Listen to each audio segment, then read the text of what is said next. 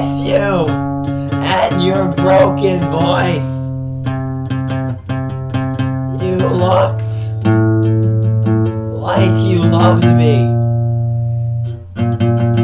Feelings are temporary,